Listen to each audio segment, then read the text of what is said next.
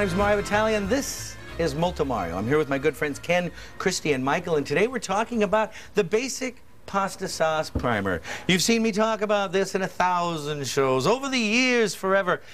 Basically, what it comes down to, it, these are the building blocks to make great pasta dishes. They're very simple, they're very accessible, and they're pretty much throughout the entire entire peninsula of the Italian culture, as to say.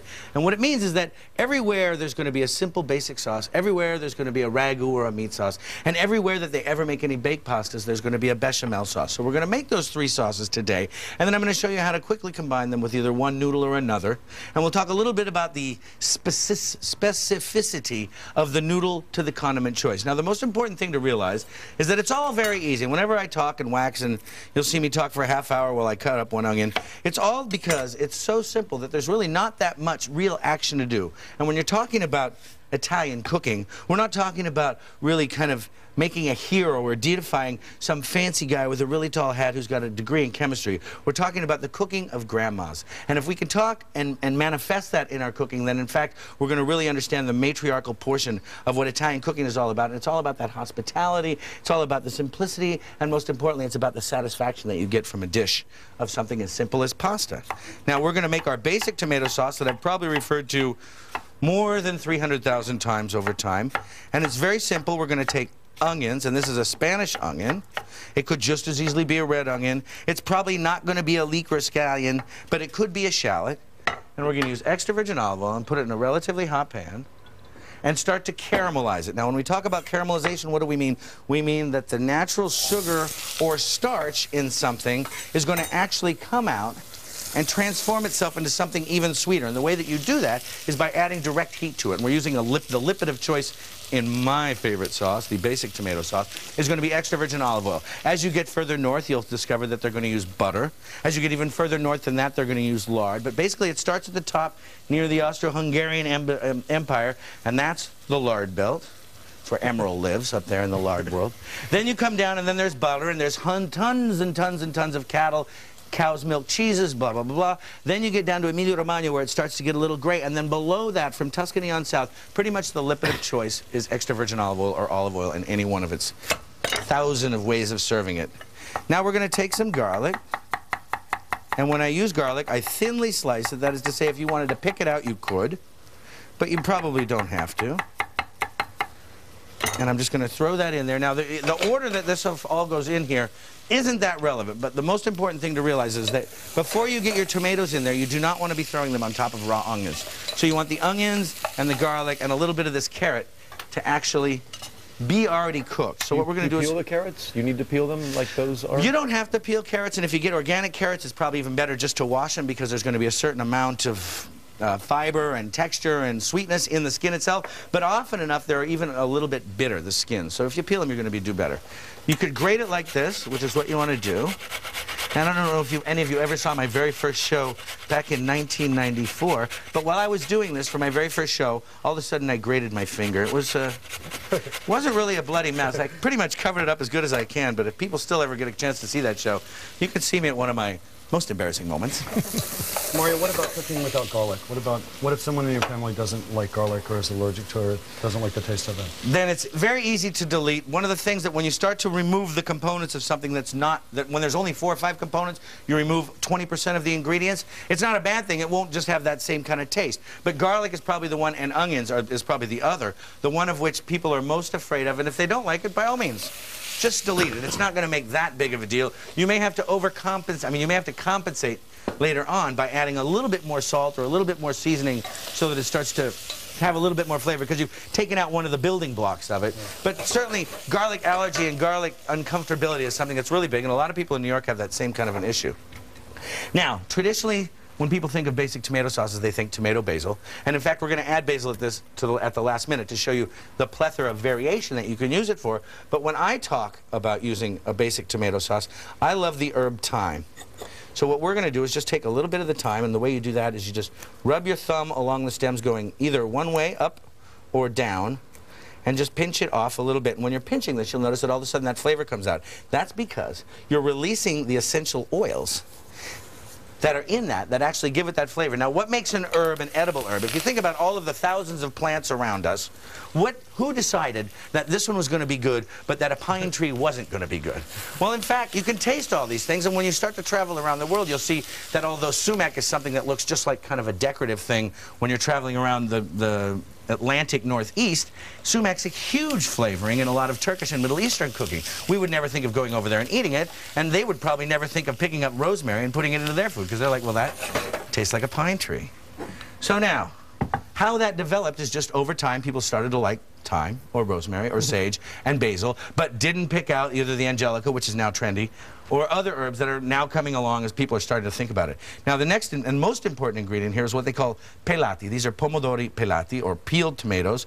The kind that I like are from in and around Campania. My favorites are San Marzano. However, there are San Marzano varieties of tomato that you can get from anywhere from Iowa to California to Spain and all these other places. So it has to be San Marzano, but also grown in Campania, and most specifically, if you can get those, the kind that are actually grown in the town of, or in the region of San Marzano itself, which is in the shadow of Vesuvius, which probably is why it's so delicious, because of that volcanic soil that happened way, way back in 72 AD. That kind of ground has created a beautiful environment to grow vegetables in.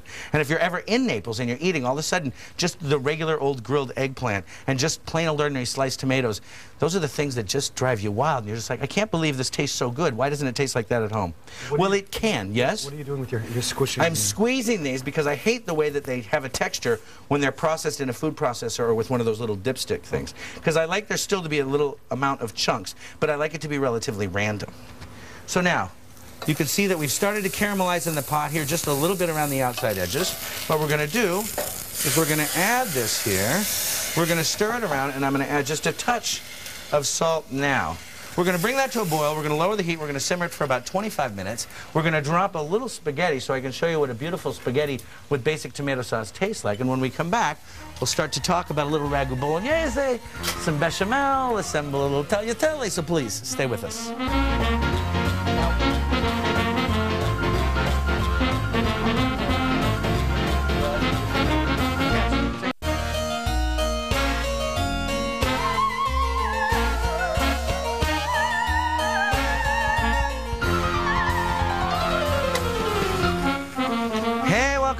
Now we've got our basic tomato sauce. I took out about two-thirds of it because if there's any mistake that American cooks make when they're cooking pasta is that they tend to oversauce it. They put too much stuff on. In Italy, the main event is the noodle, and the rest is just the dressing, very much like we dress salads. Now, I've got it in there. I'm allowing it to start to soak. What I'm always telling you to do is what I really mean. That is to say, take it out about 30 seconds to 45 seconds before it's the al dente that you want, and cook it in the sauce. So the two separate ingredients, the noodle and the sauce, come together as one. and that's important to understand, almost as important as it is to just finish it right here in the pan without too much stuff on it. And you can see I've just got this here and you're going to say, gosh, this is so darn good. It's because I didn't put too much sauce on it. There's just a little basil in here at the end. And you could add cheese here, but you don't need to because we're talking about the simple building blocks. Mario, how did you know how much pasta to cook?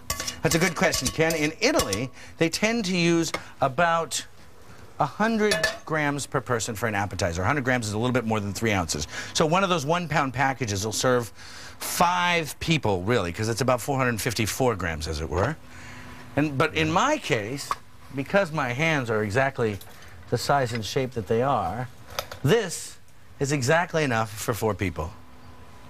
That must be about 400 grams, but that's because I possess the long, delicate fingers of a pianist as opposed to the short, stubby fingers of a sausage maker. We noticed that. There we go. So go ahead, here we are, Ken, just a little bit of uh, noodles, and serve them up.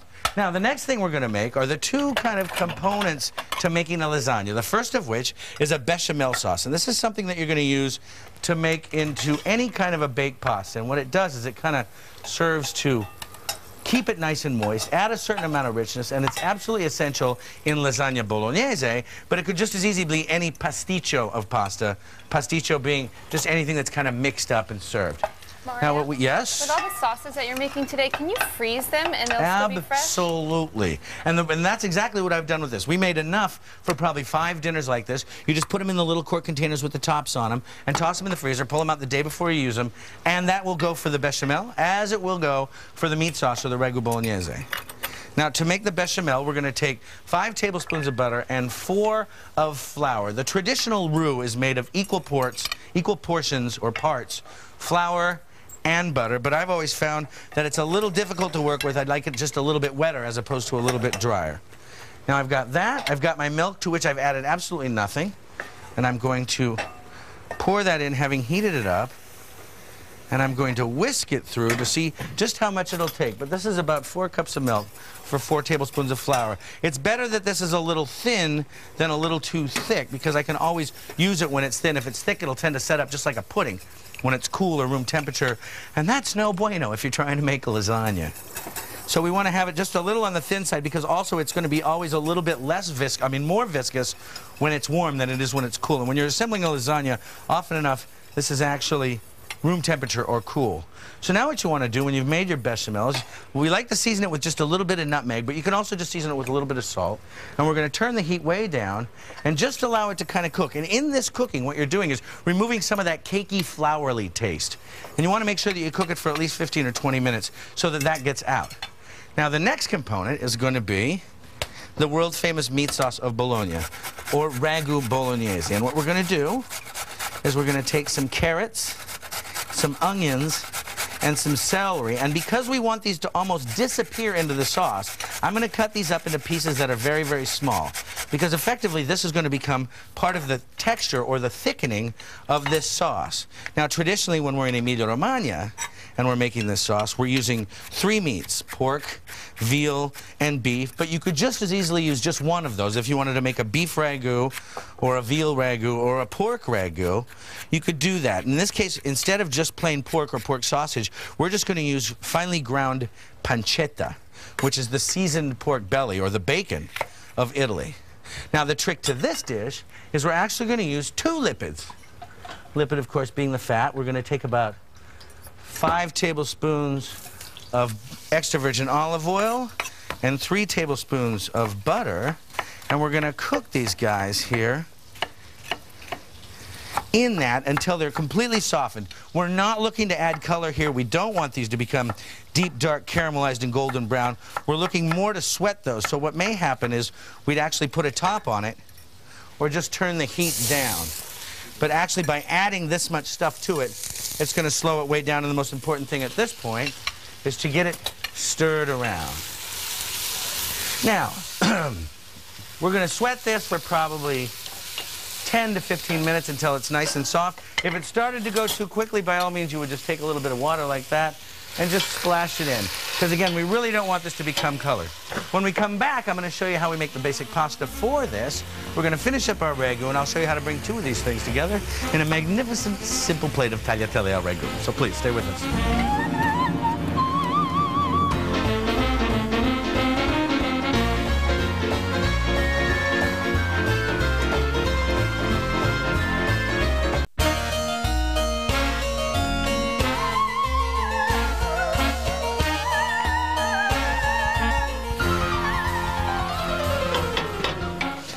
Welcome back.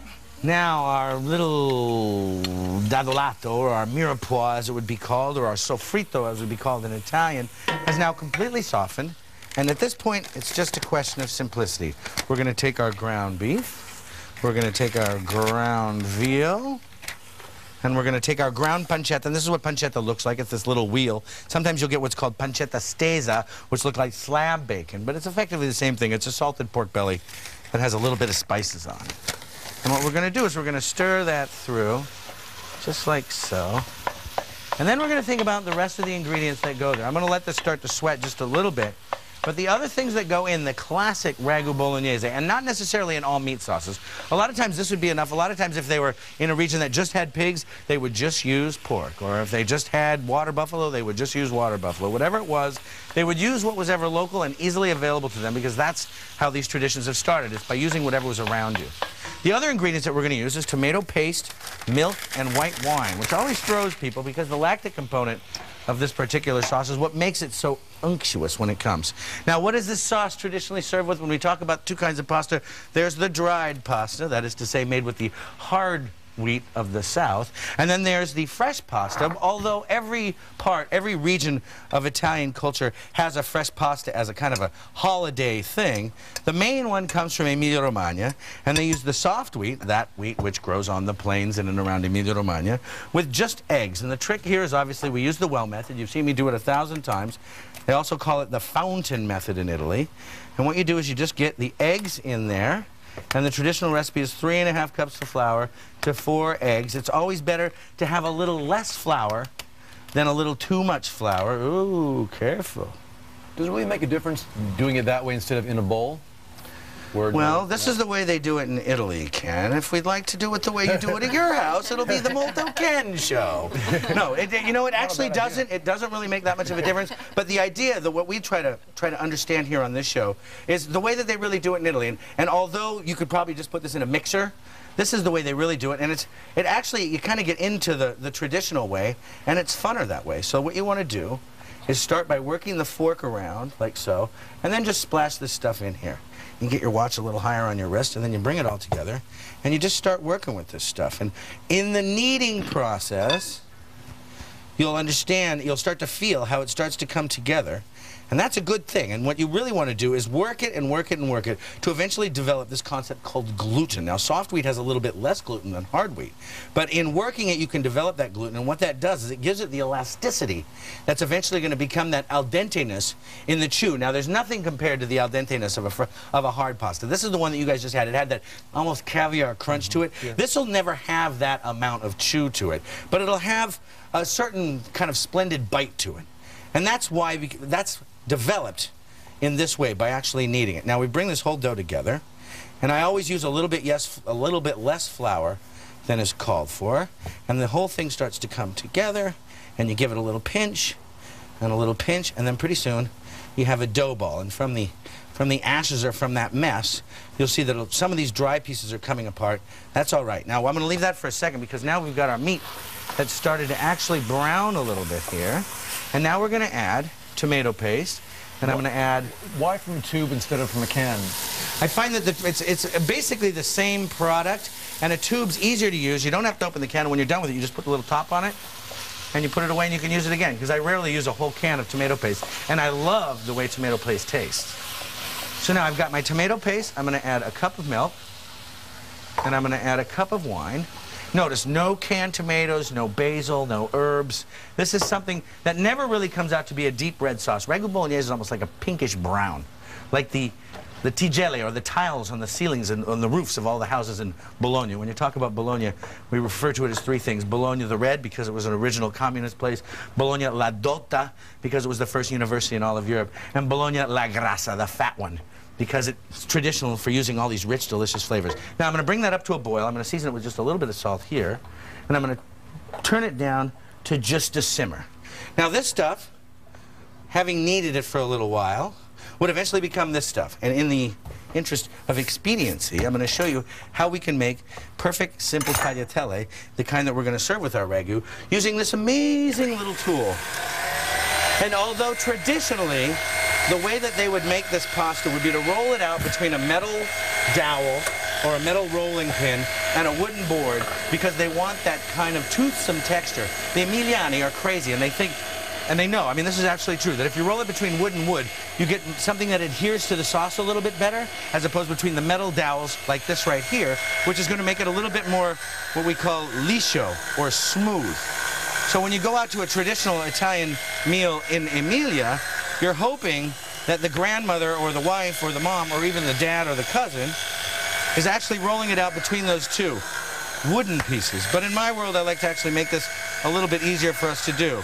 So I'm going to roll it through this. And what you'll do is you'll consistently make this rolled and rolled and rolled. And I do it twice through here because as we run it through here, we're even kneading it just a little bit more, developing that gluten just a little bit further, and giving it that beautiful chew that we're hoping for. And we'll keep rolling this through. When I come back, I'll show you how we've actually created the lasagna, how we've used this ragu bolognese, and I'll have made an entire plate of these tagliatelle so we can see how it's going to taste with a beautiful meat ragu. So please, stay with us.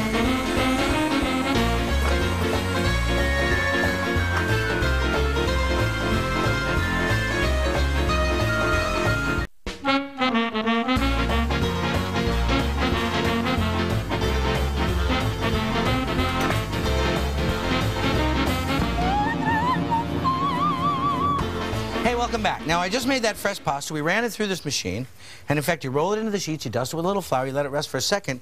And at this point, this is fresh pasta that will cook in 30 seconds because we haven't allowed it to dry. We haven't messed with it too much. We're putting it in plenty of boiling salted water. And then what I have here is something we made with that ragu bolognese and green noodles. And effectively, when you make a lasagna like we did, we don't use this one here.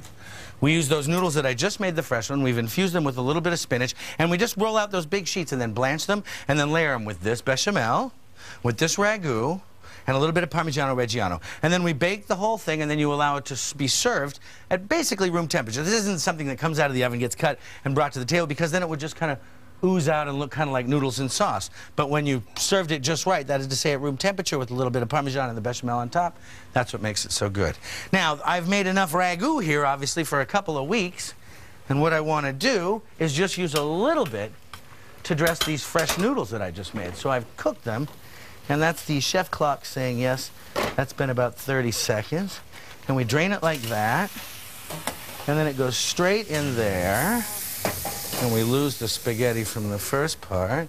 Then we take a little bit of the Undisputed King of Cheeses and grate it over the top. And now I took those noodles out in just the right amount of time. Then what I'm going to do with this cheese is create just another little bit of a texture.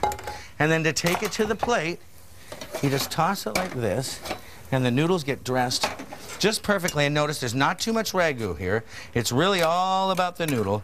But that's our basic pasta sauce primer. Thanks for being here, guys. I hope to see you all on the next Molto Mario.